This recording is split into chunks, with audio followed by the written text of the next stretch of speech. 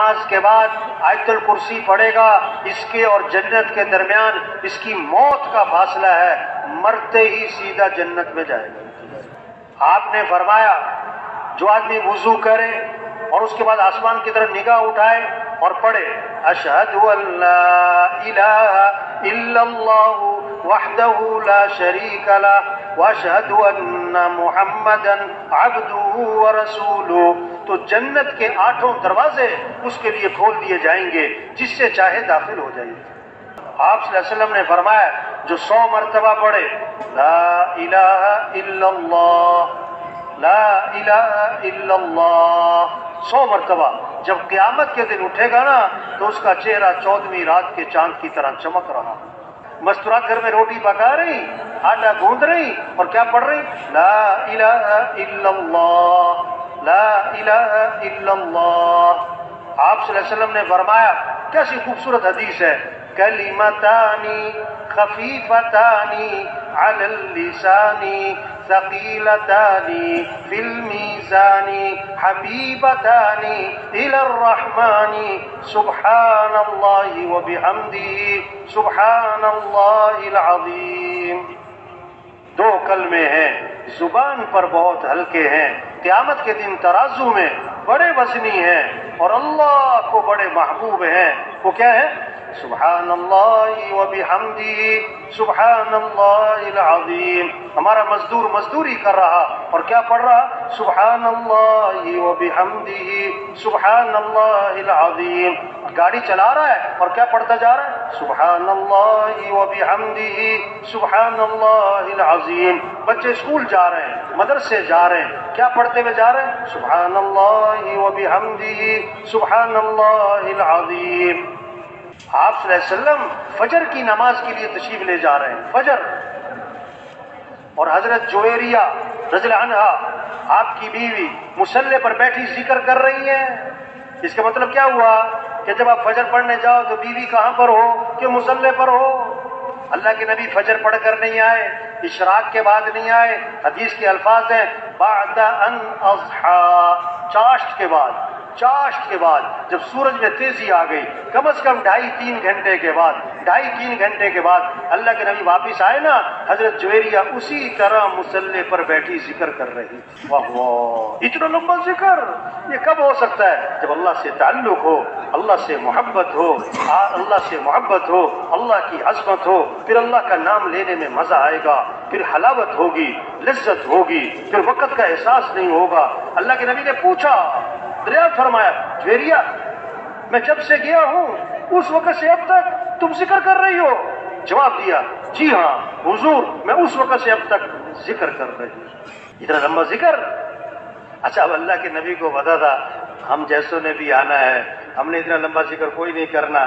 تو اللہ کے نبی نے کام آسان کر دیا، میں جویریا میں نے تمہارے بعد چار کلمات تین مرتبہ کہے، اس کا اجر تمہارے صبح سے اب تک کے ذکر سے زیادہ ہے۔ کیا؟ سبحان اللہ و بحمدہ۔ عدد خلقه ورضا نفسه وزنة عرشه ومداد كلماته. سبحان الله وبحمده. عدد خلقه ورضا نفسه وزنة عرشه ومداد كلماته. سبحان الله وبحمده. عدد خلقه ورضا نفسه وزنة عرشه ومداد كلماته. اس کا اجر تمہارے صبح سے اب تک کے ذکر سے زیادہ ہے۔ آپ نے فرمایا جو کثرت سے درو شریف پڑھے گا، یہ نہیں کہ دس دفعہ، سو دفعہ، فرمایا جو کثرت سے درو شریف پڑھے گا، جنت میں اسے میرا پڑوس ملے گا۔ کون کون حضور کا پڑوس چاہتا ہے؟ لوگ دونوں ہاتھ کھڑے کرتے ہیں، اچھی بات ہے، جذبہ ہونا چاہیے، محبت کا تقاضا یہ ہے۔ لیکن بھائی، اللہ کے نبی نے فرمایا کثرت سے کیا پڑھو؟ اور علماء نے لکھا ہے، جو تین سو دفعہ روزانہ پڑھے گا نا، یہ کثرت میں آ جائے گا۔ یہ کس میں آ جائے گا؟ اب چھوٹا سا درود شریف بتاؤں آپ کو، چھوٹا سا۔ صلی اللہ علی النبی الامی صلی اللہ علی النبی الامی صلی اللہ علی النبی الامی۔ جیسے گلاب جامن کھاتے ہوئے مزہ آتا ہے نا، اور گلاب جامن کا نام سن کے منہ میں کیا آتا ہے؟ پانی آتا ہے نا۔ تو درود شریف پڑھتے ہوئے کیا ہے؟ مزہ۔ آپ صلی اللہ علیہ وسلم نے فرمایا، جو ایک مرتبہ درو شریف پڑھے گا اللہ کی دس رحمتیں اس پر نازل ہوں گی۔ دس گنا اس کے بعد دس نیکیاں لکھی جائیں گی، دس درجے بلند ہو جائیں گے واہ واہ۔ ایک عجیب قصہ ہے ایک صحابی آئے۔ عرض کی اللہ کے رسول، میں نے ذکر کا وقت طے کیا ہے، ذکر کا، دعا کا وقت طے کیا ہے، اتنا وقت مجھے ذکر کرنا ہے۔ جیسے آج وقت ہوتا نا، یہ میرے گھر کا وقت، یہ میرے فلاں کا وقت، یہ جم کا وقت، یہ کلب کا وقت، یہ کھیل کا وقت۔ ٹھیک ہے، بھائی ذکر کا وقت بھی تو ہو، تلاوت کا وقت بھی تو ہو، مسجد کا وقت بھی تو ہو، قرآن کا وقت بھی تو ہو، تبلیغ کا وقت بھی تو ہو۔ حضور، میں نے ذکر کا وقت طے کیا ہے، اس میں سے کتنا وقت میں درود شریف کو دے دوں؟ پھر خود ہی کہا، حضور، چوتھائی وقت درود شریف کو دے دیتا ہوں، باقی جو ہے دوسرے اعمال اذکار کروں آپ نے فرمایا، ٹھیک ہے، لیکن درود شریف زیادہ کر لو تو بہتر۔ ہے عرض کے حضور، تہائی وقت درود شریف کو دیتا ہوں۔ باقی دو تہائی دوسرے عمل، تو میں ٹھیک ہے، لیکن درود شریف زیادہ کر لو تو بہتر ہے۔ اچھا میں آدھا وقت درود شریف کو دیتا ہوں۔ آدھا وقت باقی اذکار، اور میں ٹھیک ہے، لیکن درود شریف اور زیادہ کر لو تو بہتر ہے۔ میں کہا اچھا حضور، میں دو تہائی وقت درود شریف کو دیتا ہوں۔ دو تہائی وقت درود شریف کو دیتا ہوں۔ باقی دوسرے اذکار، آپ نے ٹھیک ہے۔ لیکن درو شریف اور زیادہ کر لو تو بہتر ہے۔ پڑھ کر اچھا پھر میں ایسا کرتا ہوں، میں سارا وقت درو شریف کو دیتا ہوں۔ میں درو شریف ہی پڑھتا رہوں گا۔ اللہ کے نبی نے فرمایا ایزن تکفا ہمو کا ویوفر زمبو کا اگر تم ایسا کرو گے نا، تمہاری ساری پریشانیاں دور کر دی جائیں گی اور تمہارے سارے گناہوں کو معاف کر دیا جائے گا۔ آپ نے فرمایا، جو کثرت سے استغفار کرے گا، اللہ ہر تنگی سے اسے نکالے گا، پریشانیوں سے بچائے گا، اللہ وہاں سے رزق دے گا جہاں سے وام و گمان بھی نہیں۔ اللہ وہاں سے کام بنائے گا جہاں سے وام و گمان نہیں۔ استغفار وعدہ ہے لولا تستغفرون اللہ لعلکم ترحمون. اور استغفار کیوں نہیں کرتے؟ اللہ کی رحمتیں آئیں گی. وما كان الله ليعذبهم وأنت فيهم. وما كان الله معذبهم وهم يستغفرون. اگر آپ ان میں موجود ہیں نا، اللہ فرما رہے ہیں، ان پر عذاب نہیں آئے گا۔ اگر آپ چلے گئے، تو جب تک یہ استغفار کرتے رہیں گے، ان پر عذاب نہیں آئے گا۔ امام احمد بن حمبر رحمۃ اللہ کے بارے میں آتا ہے کئی سفر میں تھے سفر میں نا، رات ہو گئی، مسجد میں نماز پڑھی شاہ کی، ارادہ کیا، رات یہاں گزار لوں۔ انہوں کبھی مسجد بند کرنی ہے، مسجد سے باہر نکل جاؤ سارے۔ ٹھیک۔ انہوں کبھی میں مسافر آدمی ہوں، رات ٹھہرنا ہے کہ نہیں نہیں نہیں، اجازت نہیں ہے۔ اپنا تعارف نہیں کروا۔ ایک آدمی وہ سن رہا تھا مجھے کبھی یہ کوئی بڑے بزرگ آدمی لگتے ہیں، اب میرے ساتھ چلو، اب میرے گھر میں رہ جاؤ، ساتھ لے گیا۔ اب وہ آٹا گوند روٹیاں پکاتا تھا وہ، تندور کا کام۔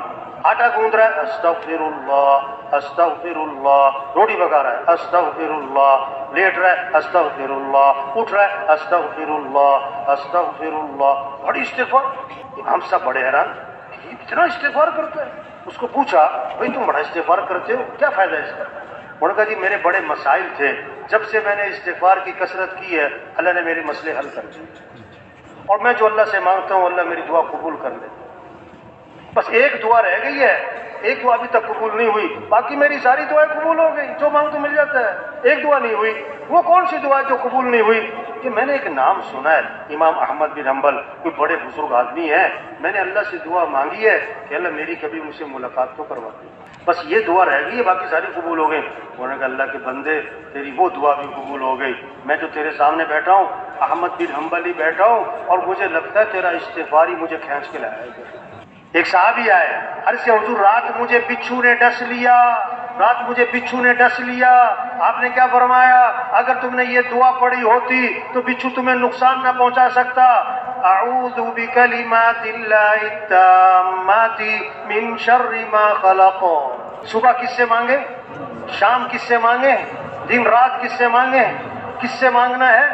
حضرت عبداللہ بن عمر رضی اللہ عنہ فرماتے ہیں، حضور صلی اللہ علیہ وسلم اس دعا کا پڑھنا کبھی نہیں چھوڑتے تھے۔ جس دعا کو اللہ کے نبی کبھی نہ چھوڑتے ہوں، آگے فرماتے ہیں، نہ صبح چھوڑتے تھے، نہ شام چھوڑتے تھے، وہ دعا کتنی عام ہوگی؟ کیا؟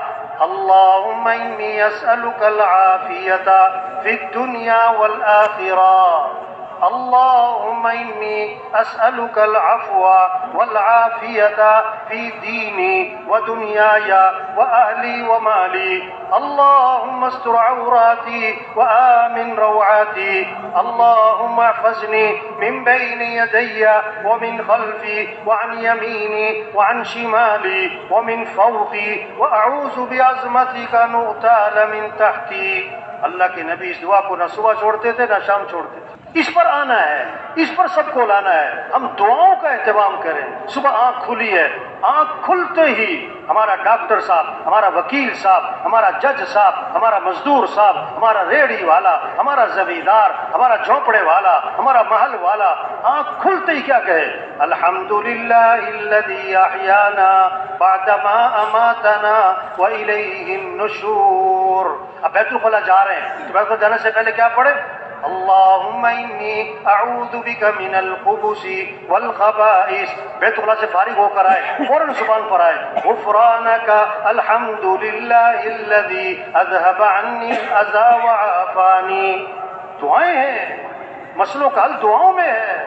اللہ سے مانگنا ہے. صبح کی دعائیں ہیں، شام کی دعائیں ہیں. گھر سے نکلتے ہوئے دعا ہے. گھر میں داخل ہوتے ہوئے دعا ہے. بازار کی دعا ہے. ہاں ہر موقع کی دعا ہے.